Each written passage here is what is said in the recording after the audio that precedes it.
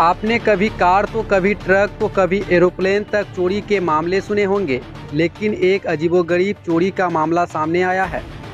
जहाँ कटिहार ज़िले के कदवा प्रखंड अंतर्गत चौनी पंचायत के कोल्हा गाँव से बीती रात कब्रिस्तान से मुर्दों की चोरी हो गई है। प्रत्यक्षदर्शियों ने बताया कि जब वे सुबह कब्रिस्तान पहुँचे तो कई कब्र खुदे हुए थे और कई मुर्दे के सर तो कईयों के पूरा धर गायब था। वहीं जब इस बात की खबर ग्रामीणों को मिली तो आकर हंगामा करने लगे। वहीं ग्रामीणों की सूचना पर पुलिस मौके पर पहुंचकर जाँच शुरू कर दी है। सभी कब्र पाँच से छः महीने पूर्व का बताया जा रहा है। वहीं इसको लेकर ग्रामीणों में डर का माहौल भी है। ग्रामीणों का कहना है कि सभी के ऊपर बड़ी मुसीबत आने वाली है। यह तंत्र मंत्र का कोई मामला है। बाईसी से सिटी हलचल न्यूज़ के लिए मनोज कुमार की रिपोर्ट।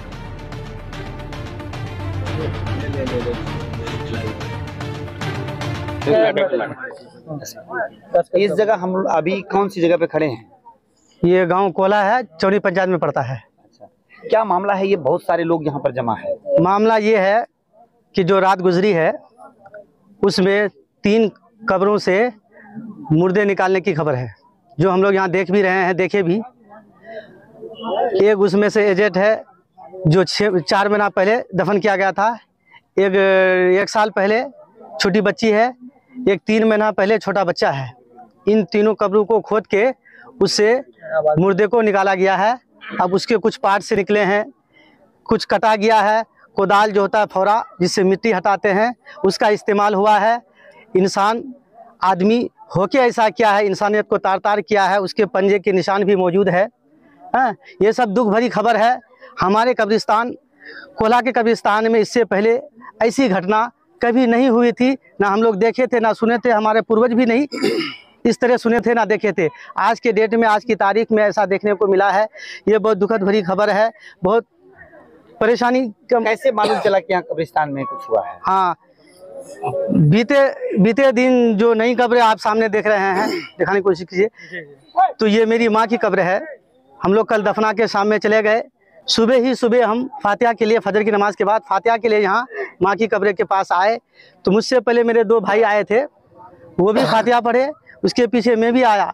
तो उन्होंने देखा कि जो घेराव है उसका एक तरफ़ का जो उसका ब्रंठी होता है यानी बाँस का जो ये दरवाज़ा है वो खुला हुआ है और कुछ मिट्टी कब्रे से इधर कुछ दाएँ बाएँ मिट्टी हु- हटी हुई है और जैसे ही करीब जाके देखा गया तो वाकई में हैं, कब्र खुली है यानी उसके साथ गलत कब्र के साथ गलत हुआ है और उससे मुर्दे को निकाला गया है।